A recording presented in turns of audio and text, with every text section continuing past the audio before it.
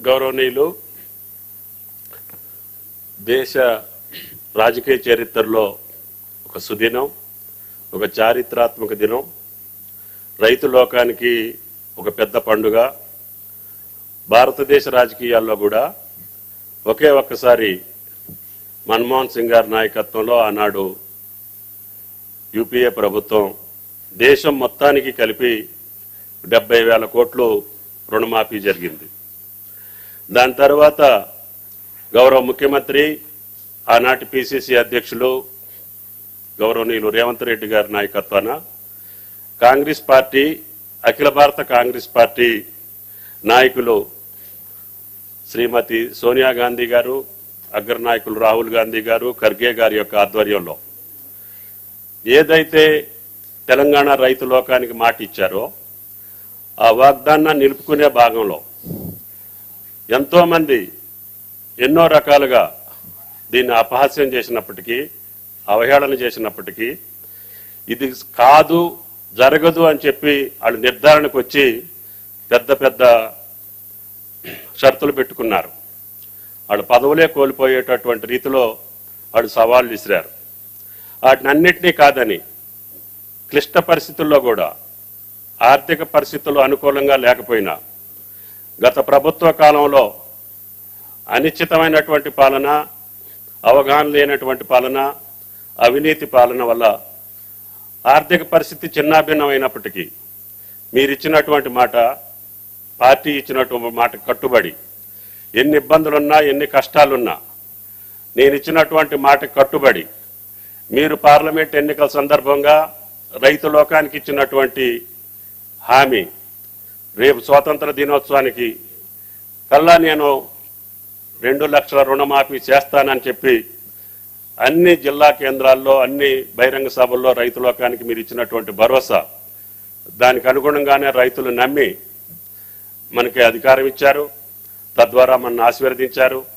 ఆ ఆశీర్వాదాలు ఆశీర్వాద ఫలితంగా ఈనాడు భారతదేశ రాజకీయాల్లో తెలంగాణ మోడల్ను సృష్టించటానికి ఏం జరిగింది?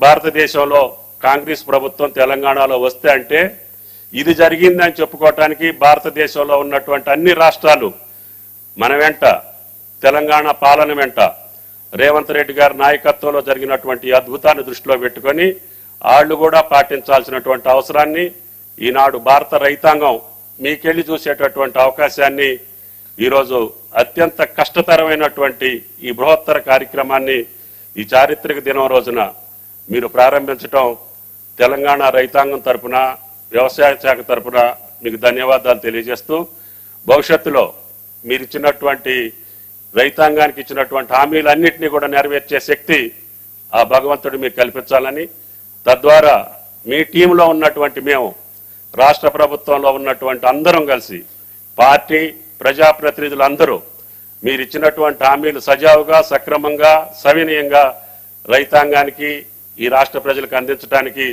శాయశక్తులా కృషి చేస్తామని.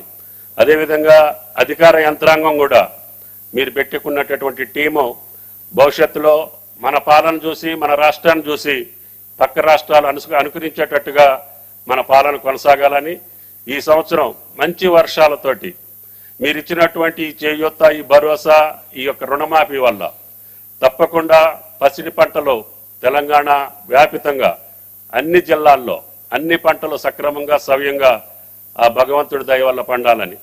తప్పకుండా మీ ఆధ్వర్యంలో తెలంగాణ సుభిక్షంగా ఉండాలని రైతాంగం ఇంకా అనేక కార్యక్రమాలకు అనుకూలమైనటువంటి తెలంగాణ రాష్ట్రాన్ని అన్ని రంగాల్లో ముందుకు తీసుకెళ్ళటం కోసం మీరు ఇచ్చినటువంటి ఈ చేయూత ఈ భరోసా ఈ ధీమా రైతాంగం గుండెల్లో పెట్టుకొని వ్యవసాయాన్ని భరోసాగా చేసి ధైర్యంగా నిలబడి తెలంగాణ రాష్ట్రాన్ని అన్ని రంగాల్లో ముందుంచడానికి వ్యవసాయ రంగం ఇచ్చేటటువంటి జిఎస్డిపి దీనివల్ల వారి యొక్క జీవన స్థితిగతులే కాకుండా రాష్ట్రం యొక్క ఖజానాని కూడా ఎక్కువ ఓతాన్నిచ్చి ఎక్కువ ఆదాయం వచ్చి తప్పకుండా భవిష్యత్తులో ఈ యొక్క తెలంగాణ రాష్ట్ర ప్రభుత్వం రేవంత్ రెడ్డి గారి నాయకత్వంలో మా ఉప ముఖ్యమంత్రి భట్టి గారు ఆయన కూడా నిద్ర లేకుండా చాలా రైతులు గడిపానని చెప్పారు.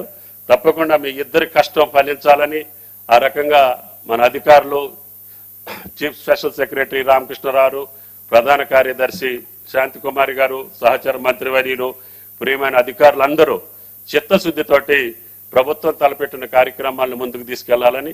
అదేవిధంగా ప్రకాష్ గారు ఎస్ఎల్బిసి ఈరోజు ఉదయం కూడా మాట్లాడారు.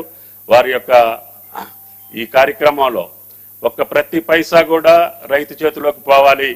మీరు పాత బాకీలో వేరే అకౌంట్లోకి మార్చేటటువంటి అవకాశం లేకుండా వాళ్ళ అన్ని బ్యాంకులకి ఇన్స్ట్రక్షన్స్ ఇవ్వమని చెప్పాం. వారు సర్వోదయంతో ఒప్పుకున్నారు. వారికి కూడా అసలు రైతుల పండగ కంటే బ్యాంకర్స్ పండుగే పెద్ద గొప్పగా ఉంది. ఒకే రోజు ముప్పై ఒక్క వేల కోట్లు మీ ఖజానాకు వస్తున్నాయి. మీ దగ్గర నుంచి మా రైతులకు వెళ్తున్నాయి. కాబట్టి మీ చేయూత ఉండాలని ఈ రాష్ట్ర అభివృద్ధిలో బ్యాంకుల యొక్క పాత్ర గణనీయంగా ఉండాలని చెప్పి కోరుకుంటూ గౌరవ ముఖ్యమంత్రి గారికి రాష్ట్ర రైతాంగం పక్షాన ధన్యవాదాలు శుభాకాంక్షలు. తప్పకుండా మాకు భవిష్యత్తులో రైతాంగానికి కావాల్సినటువంటి ప్రతి కార్యక్రమాన్ని కేబినెట్ తోటి పాటు అధికారులతోటి పాటు మీరు పెద్ద మనసుతోటి సహకరిస్తున్నారు. తప్పకుండా ఈ శాఖకి ఒక గుర్తింపుని ఒక ప్రతిష్టని ఒక విలువని రైతుకు ఒక గౌరవాన్ని తీసుకొచ్చేదానికి శాయశక్తులా మీతో పనిచేస్తానని చెప్పి విజ్ఞప్తి చేస్తూ థ్యాంక్ యూ సార్. నమస్కారం.